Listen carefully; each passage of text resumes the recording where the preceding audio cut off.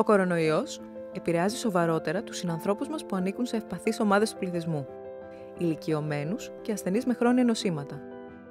Πλένετε συχνά και στο τα χέρια σας. Καλύπτετε το στόμα και τη μύτη με τον αγκώνα όταν βύχετε και φτερνίζεστε. Κρατάτε αποστάσεις από άτομα που εμφανίζουν συμπτώματα. Καθαρίζετε καλά τις επιφάνειες και αερίζετε καλά τους χώρους.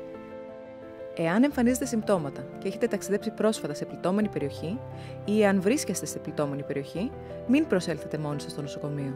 Καλέστε τον γιατρό σας ή τον ΕΟΔΗ και παραμείνετε στο σπίτι σας. Για απορίες σχετικά με τον κορονοϊό, καλέστε στη γραμμή 24 ώρες λειτουργίας 1135.